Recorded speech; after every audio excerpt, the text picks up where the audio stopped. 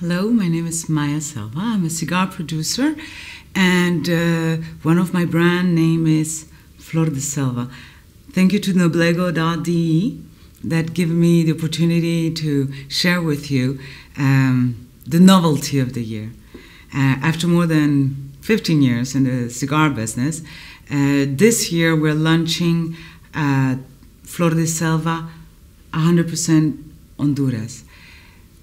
Five years ago, uh, uh, one of the best tobacco grower in the business, named Nestor Plasencia, he started uh, to make some wrapper, Connecticut wrapper, in the Talanga Valley, which is more or less in the center of the country.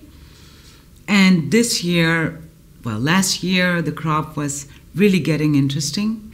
Now he understands the soil, he understands what's going on in this farm, and so I have decided to switch all the production of Flor de Selva from the Connecticut wrapper from Ecuador to the Connecticut wrapper from Honduras.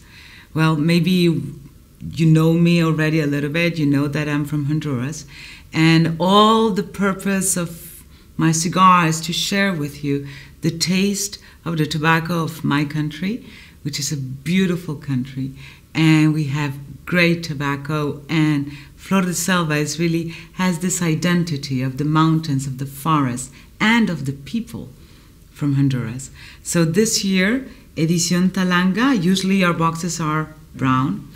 In order to announce, you know, the change of the blend, the name is Edición Talanga. It's a red box, and we started with the Robusto, uh, since it's you know the most easy size concerning degustating a great cigar.